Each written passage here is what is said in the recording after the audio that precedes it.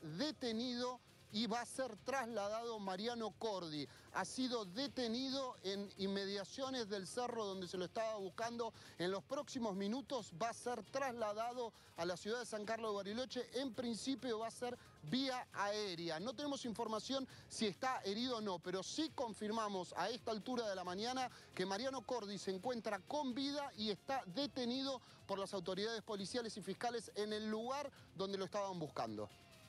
A ver, eh, hubo un operativo muy amplio. Había unos indicios, habían encontrado una mochila. Sí. ¿Que habían encontrado esa, esa arma casera? En la casa de él, ¿no? Sí, sí.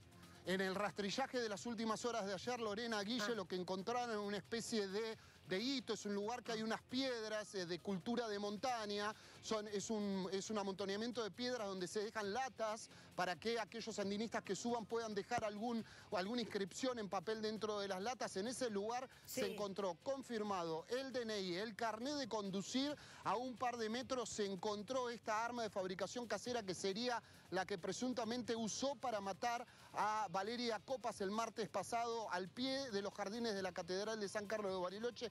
También se encontró en el lugar una zapatilla y rastros que podrían ser de sangre. Eso Ajá. es lo que se encontró en las últimas horas de ayer. Hace minutos nada más salieron tres vuelos en helicóptero con eh, gente especializada en búsqueda de rescate de la, del COER, eh, puntualmente División de Canes también, que llegaron al lugar y a los pocos minutos que llegaron al lugar se hizo la detención de Mariano Cordi. Esto es oficial por parte del gobierno eh, de la provincia de Río Negro. Nosotros veníamos manejando esta información, pero lo trascendente a esta altura de la mañana es que el femicida, el autor del homicidio contra Valeria Copas el martes pasado, está detenido y con vida y en los próximos minutos va a ser trasladado a la ciudad de Bariloche. Rodrigo, ¿cuántos, ¿a cuántos kilómetros del centro cívico eh, fue detenido este hombre? No me doy un poco, vos sos nacido allí, por lo cual tenés mm, bastante idea de las distancias, ¿no?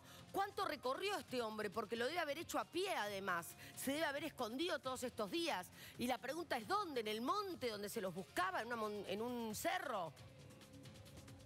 A ver, esto es eh, del centro de la ciudad, me animo a decir Sí. que es aproximadamente unos eh, 15 kilómetros.